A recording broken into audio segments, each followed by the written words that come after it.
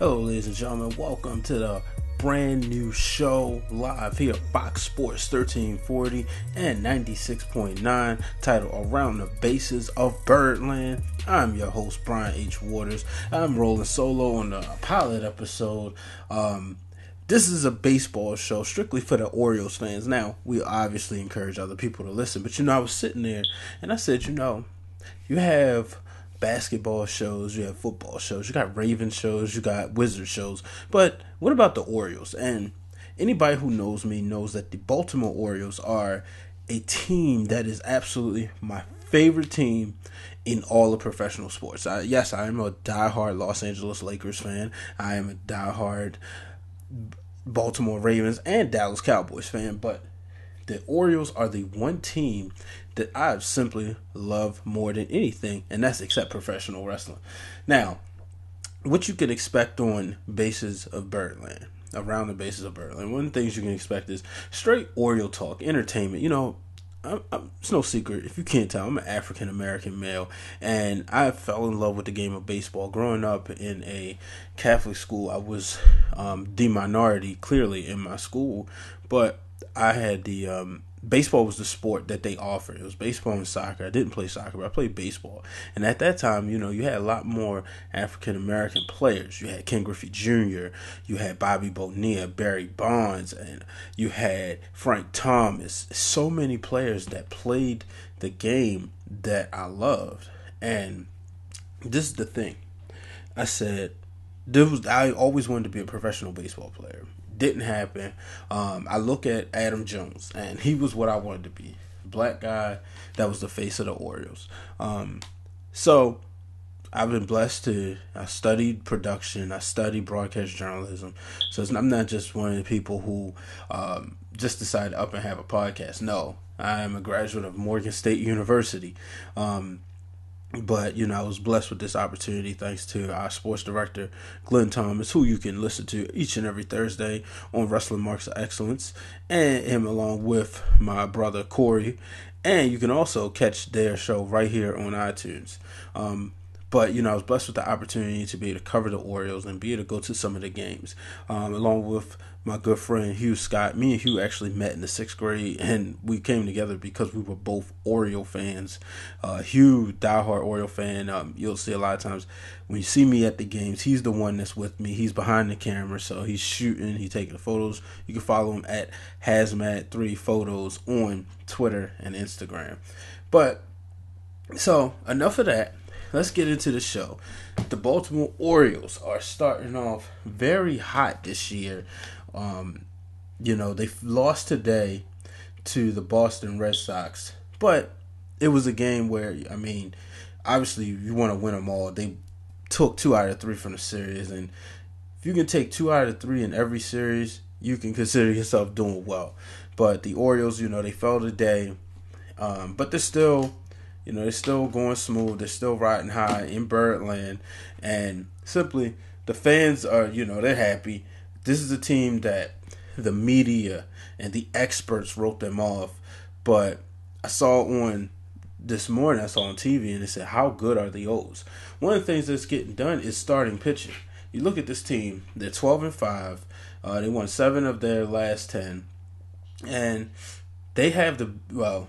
Houston passed them, but they had the best record in baseball. But it's getting being done by starting pitching. The offense has not got going yet, which we'll talk about later. But the expectations. So I would say my expectations is that I would see this team making a run. I could see this team going all the way.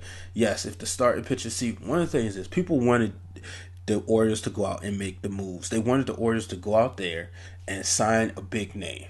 Well, you have you've been de- developing Kevin Gausman and Dylan Bundy for the past few years. I wrote a piece on Fox Sports 1340am.com. Dylan Bundy's finally living up to the hype. As we segue into our next segment, um, you know Bundy is absolutely you know phenomenal this season. Uh, he's three and one, and his ERA is a one is a one point three seven, and we know baseball is a, a stat sport. He has yet to allow a home run this season, and all his games have been games in the division. this whole month, with the exception exception of the Cincinnati Reds, the Orioles have been playing division games. So for him to be pitching this well this early against division opponents, teams that he's going to see, that has to be something that Oriole fans can smile about. So, Oriole fans, I know you have to be excited. Tweet me what's your thoughts on Dylan Bundy. You can follow me at Brian H Waters. All right, so you know the Orioles, their starting pitching is currently seventh in Major League Baseball. Remember that was the concern. You know everybody knows the ball, the long ball. They can hit the home runs. You have Chris Davis. You got Manny Machado, Adam Jones, Mark Trumbo, Jonathan Schoop, even JJ Hardy went healthy. And now, I mean, these guys can all hit more than 20 home runs in a season. So, you know, we're going to segue into our next segment and we're going to talk about Trey Mancini. But before we go there, let me make sure you know tomorrow, or I should say Monday, whenever you get a chance to listen to this, make sure you are tuned in to Fox Sports 1340am.com where you can listen to the MC Sports Report brought to you by Michael Bish and Cody Stewart. These guys, they talk all types of sports. Um, you know, the Capitals just advanced, so I can't wait to hear Michael's thoughts about that. Uh, you'll have Cody. He's been giving us great content on Twitter at 1348 Fox Sports, where he's been giving us content as far as the NFL draft is concerned. So make sure you tune into that. So, ladies and gentlemen, you are listening to Around the Bases of Birdland with Brian H. Waters. Now, Trey Mancini. Trey Mancini, I mean, he is playing phenomenal. He just you know came up last year late, and in his first game he homered, and everybody got excited. You know, it's like wow, you know he homered. Then this year he had a multi home run game, and people say, all right, you know, last year there was Joey Rickard in the beginning of the season, but Joey wasn't just hitting home runs. Joey was kind of like coming through in the clutch, scoring uh, clutch runs, making those clutch plays in the outfield. Trey Mancini they um, said that out of his 15 career hits, eight of them have been home runs. So now you have another bat in there that can go deep. So I know fans are excited. So I want I want to know what's your thoughts on Trey Mancini. Tweet me at Brian H Waters. Tweet me also connect at 1340 AM Fox Sports. I have to know what are your thoughts, Trey Mancini, a young up and coming guy. Is Trey Mancini a phenom? Is he a star in the making, or he is he just hot right now? I want to know. Now, let's address the elephant in the room. And people may say, "What is the elephant in the room?" If you were watching the Orioles Red Sox game, you saw that Manny Machado had was thrown almost towards the head that from Matt Barnes, and no, not the NBA's Matt Barnes, even though it's kind of similar with this action. The Red Sox relief pitcher Matt Barnes threw a fastball, had to be upper 90s, towards the head of Manny Machado. And folks, that's just a no no. And if you remember, don't remember, Friday night, and the Orioles went over the Red Sox. Manny was going to second base.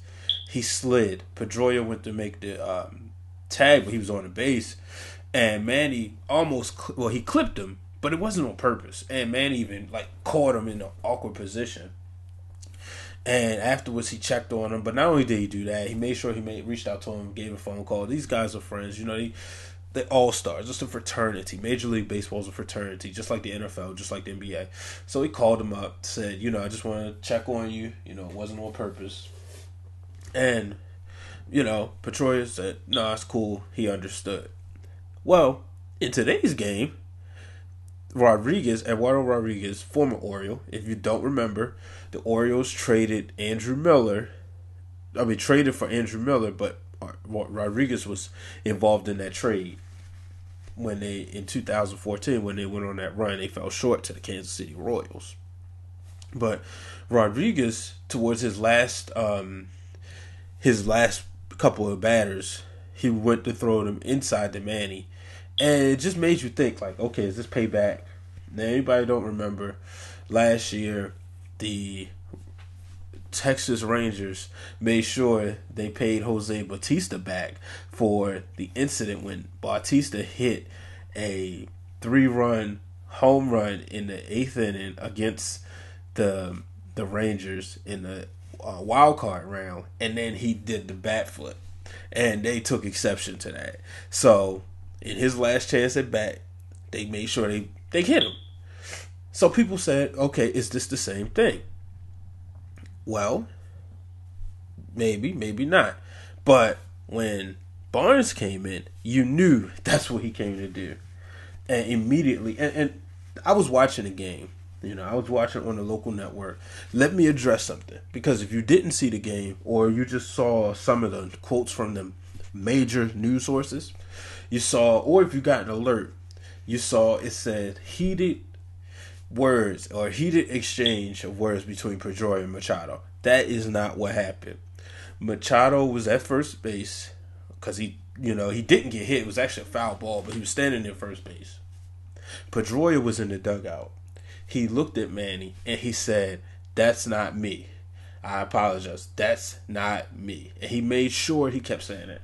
So the story came out later. You know, they got some quotes from him, and he he apologized. He said, "Look, you know, I I don't condone that." And essentially, he threw his teammates and maybe even his manager too under the bus. So Manny, um, I didn't hear what Manny said. I know Chris Davis said that, you know, they all going for one thing. Buck Showalter wouldn't really talk about it. You know, these teams, these two teams, they're going to play each other. It will probably be down to them two and the Yankees. If I make my predictions, that's what I'm saying. It's going to be a, a three way race coming to end, just like last year, except replace Toronto with New York. But I mean, the Orioles have always been kind of like that that middle child, or if you don't want to call it the middle child, the stepchild to the Yankees and the Red Sox of being the leaders of the division, and the Orioles have kind of like taken, you know, been trying to take their respect, which Oriole fans here they know in Baltimore. A lot of times when the Yankees and the Red Sox come to town, it's always about okay, Yankee Stadium South or Fenway Park South. So, you know, it's it regards to what whether you want to believe it or not, it's a rivalry. So you know, and now that the Orioles are good, you know, after those 15 long years, now that the Orioles are good, the Yankees and the Red Sox recognize the Orioles as a rivalry. It's not just one way. So, you know, I just wanted to talk about that. You know, it's going to be very interesting to see exactly what happens as we move forward between these two teams. So, you know, the Orioles, but you know, if you're an Orioles fan, let me know what's your thoughts on this season. You know, um, appreciate you taking the time out to listen to Around the Bases of Birdland here with Brian H. Waters, Fox Sports 1340am.com. Um, you know, you can make sure that you um, subscribe to our iTunes channel. Uh, just like Fox Sports 1340, you know, we have uh, today, and I speak on Sunday, the um, Three's a Crowd podcast aired, and they uh, had a special guest. I'm not going to tell you who it is because I want you to listen. But, you know, they discussed the uh, NBA playoffs. Uh, Three's a Crowd with Kelsey, Ray, and, or as he's called himself, the other Ray J, and my man James Hip. You know, so also make sure you're tuned in.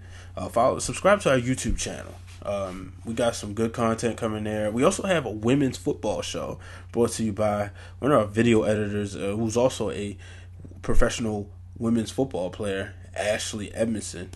Um, you know, she's uh, brings you four point stance, where she discusses uh, just the latest happenings in um, football. So make sure you're tuned into that. Um, you know, I'm not gonna hold you up too much longer. Like I said, I appreciate you taking the time out to listen.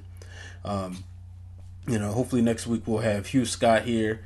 He'll be able to talk, or uh, he'll he'll be able to talk Orioles baseball. He's just as passionate. Uh, but as we look forward to next week, the Orioles, well, they have the Tampa Bay Rays coming to town. Chris Archer going against Ubaldo Jimenez, and well, Ubaldo, we know how he can be. Um, I had a good friend who called him trick or treat because you wasn't sure what you were going to get. Simply, so make sure you know you are tuned into that. So you know that's gonna be the big matchup for the O's this week, followed by the New York Yankees at the end of the week. Orioles will travel to New York, so they want to they they can maintain you know winning three out of every four. Especially against these the, division. They went to uh, New York, came here in the first week of the season. Orioles were able to take two or three from them, so if they can go to New York and take two or three from them, that'd be good. Because while Gary Sanchez is out, if you haven't seen Aaron Judge, it's a pretty big guy right there. It's a pretty big guy. So, ladies and gentlemen, that'll be it. Brian H. Waters signing off Fox Sports 1340. I just want to give a special shout out to my man Brandon Allman for the great logo. You know, that that's one of the best graphic designers I know. So, shout out to everybody. Thank you for listening. So long, everybody.